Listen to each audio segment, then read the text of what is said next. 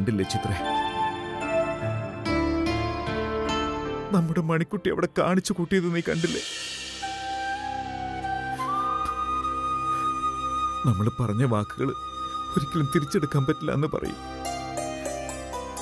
എന്നാൽ ഞാൻ അവരോട് അവിടെ വെച്ച് പറയാൻ പാടില്ലാത്ത മോശം വാക്കുകൾ പറഞ്ഞു പോയി. അതും അതും എന്നെ എടുത്തു വളർത്തിയ അമ്മായിയുടെ മുഖത്ത് നോക്കി. അത് നമ്മുടെ മണിക്കുട്ടിയുടെ മുമ്പിൽ വെച്ച്. അയ്യോ അവരുടെ മനസ്സ് എത്രമാത്രം വേദനിച്ചു കാണും. ഇപ്പൊ എന്നെ കുറിച്ച് ഓർക്കുമ്പോ എനിക്ക് വെറുപ്പ് തോന്നുക. നീ ജീവിച്ചിരുന്നെങ്കിൽ ഇങ്ങനെ ഒരു തെറ്റ് നടക്കാൻ സമ്മതിക്കുമായിരുന്നു. ഈ ജീവിതത്തിൽ ഏതെങ്കിലും ഒരു തെറ്റ് ചെയ്യാൻ എന്നെ അനുവദിച്ചിട്ടുണ്ടോ? എന്നാ ഇപ്പൊ കണ്ടില്ലേ? എന്നോട് ക്ഷമിക്ക് ചിത്രേ. എന്നാ തീ കൊണ്ടുണ്ടായ മുറിവ് പോലും ഉണങ്ങും. എന്നാൽ നമ്മുടെ വാക്കുകൊണ്ട് മുറിഞ്ഞത് ഒരിക്കലും ഉണങ്ങില്ല. പാവം നമ്മുടെ അമ്മായി. ഇപ്പൊ ഞാൻ പറഞ്ഞ വാക്കുകൾ ജീവിതകാലം മുഴുവനും അമ്മായിയുടെ മനസ്സിൽ നിന്ന് പോകില്ല ചിത്ര? തെറ്റായി പോയി. ഞാൻ എന്തിനാ അങ്ങനെ പറഞ്ഞത്? ആ സമയത്ത് ഞാൻ പറഞ്ഞത് മുഴുവനും തെറ്റായി പോയി. എന്റെ ചിത്ര എന്നെ വിട്ടു പോകാതിരുന്നെങ്കിൽ ഞാൻ ഒരിക്കലും ഇങ്ങനെ ആവില്ലായിരുന്നു. എപ്പോഴാണ് എന്റെ രണ്ടാമത്തെ കല്യാണത്തെ കുറിച്ച് ആലോചിച്ചത്? അന്ന് തുടങ്ങിയത് എന്റെ ജീവിതത്തിൽ മുഴുവൻ ഇതുപോലത്തെ പ്രശ്നങ്ങൾ.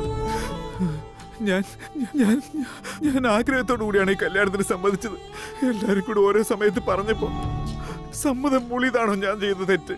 എന്നാൽ അത് മനസ്സിലാക്കാതെ ആവശ്യമില്ലാതെ ഓരോന്ന് എന്റെ നേരെ നോക്കി പറയും.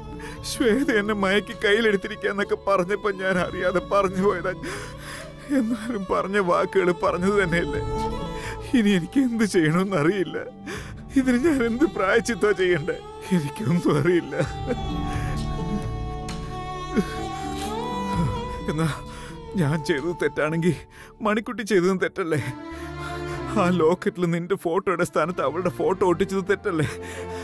അതും അവളെ പെണ്ണ് കാണാൻ വന്ന ചെറുക്കന്റെ മുമ്പിൽ അത് തുറന്നു കാണിക്കാന്ന് പറഞ്ഞാൽ അതും തെറ്റല്ലേ ചിത്രേ?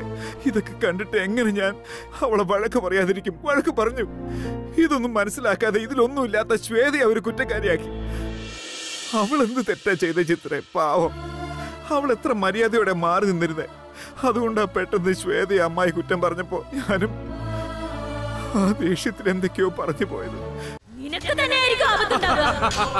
ഇന്ന് നിനക്ക് എന്നെ തളക്കാൻ പറ്റുമായിരിക്കും. എന്നാ ഞാൻ വീണ്ടും തിരിച്ചു വന്ന. ഇവരുടെ വാക്ക് കേട്ട് എന്നെ ഉപദ്രവിച്ച. നിന്നോടായിരിക്കും ആദ്യം പ്രതികാരം ചെയ്യുക. ഇത് സത്യം. എന്നോട് തന്നെ ശപഥം ചെയ്യുന്നു. വാ വന്നിരിക്കാനാണ് പറഞ്ഞത്. ഓം കാളി ഓം കാളി ജയ് കാളി മഹാകാളി. വാ വാ വന്നിരിക്ക്. വരാനാണ് പറഞ്ഞത് വാ. വന്ന് കാട്ടിലിരിക്ക്. വാ. വന്നിരിക്കാനാണ് പറഞ്ഞത്. വാ. ഉം. വാ. വന്ന് കളത്തിലിരിക്ക്. ഓം കാളി മഹാകാളി ജയ് കാളി.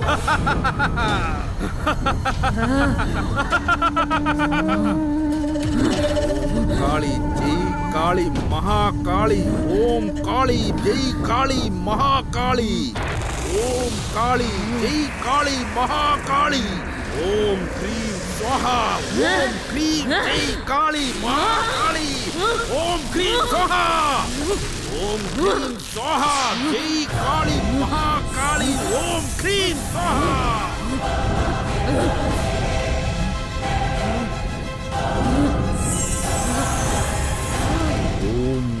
വേണ്ട വേണ്ട കാളി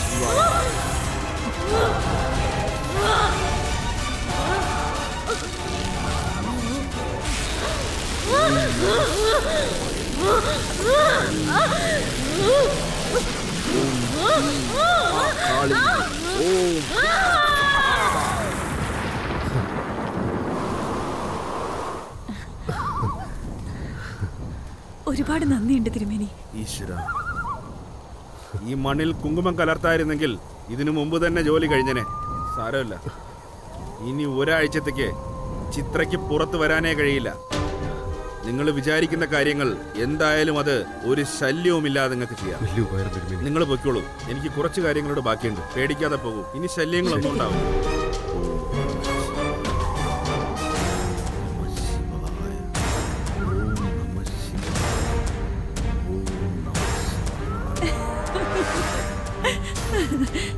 എടി ചിത്രേ നീ ഇപ്പൊ എവിടെയാടി ഇരിക്കുന്നേ?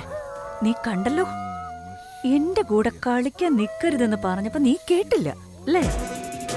എന്നെ വെല്ലുവിളിച്ച് എന്നെ തന്നെ എതിർക്കാൻ വന്നിട്ട് കണ്ടില്ലേ ഇപ്പോ? എന്റെ കൺമുമ്പിൽ വെച്ച് തന്നെ നീ ഇല്ലാതായി മണ്ണിൽ അലിഞ്ഞില്ലേ? ഈ ഒരാഴ്ച എന്ന് പറയുന്നത് വെറും തുടക്ക. കഴിയുമെങ്കിൽ ഞാൻ എന്താ ചെയ്യാൻ പോകുന്നെന്ന് നീ വന്ന് കാണും.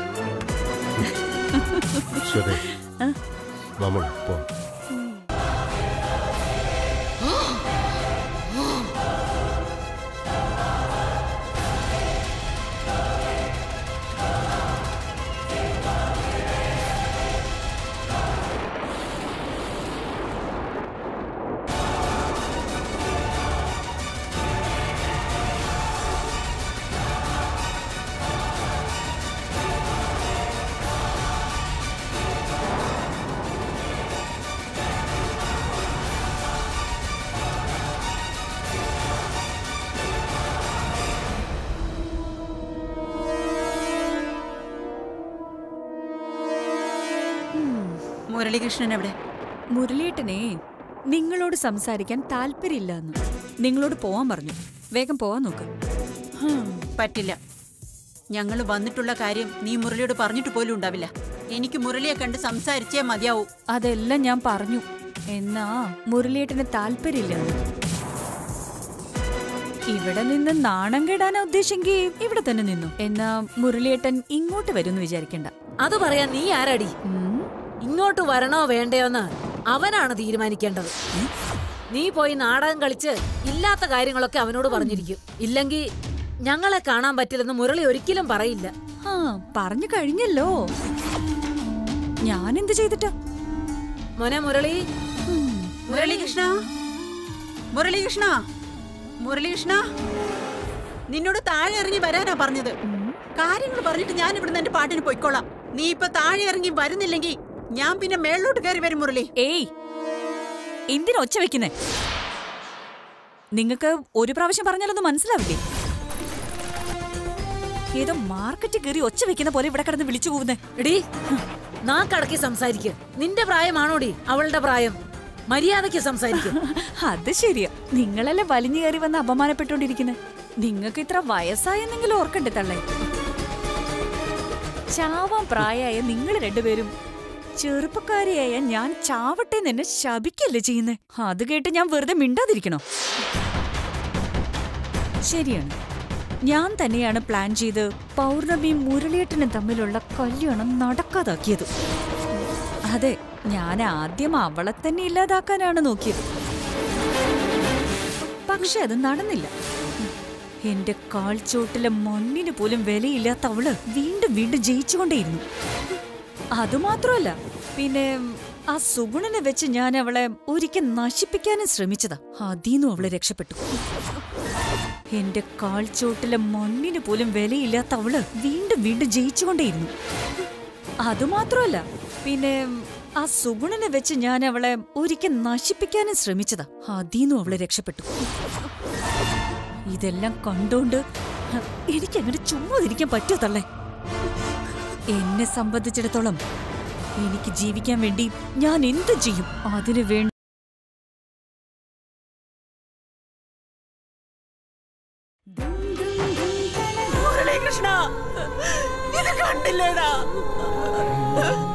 നിനക്കൊന്നും പറയാനില്ലേ? അവരെ പിടിച്ച് പുറത്താക്കി ഗേറ്റ് അടയ്ക്കാൻ നോക്ക്. എന്തിനാ അവർ പറയുന്ന മുഴുവൻ കേട്ടോണ്ടിരിക്കുന്നത്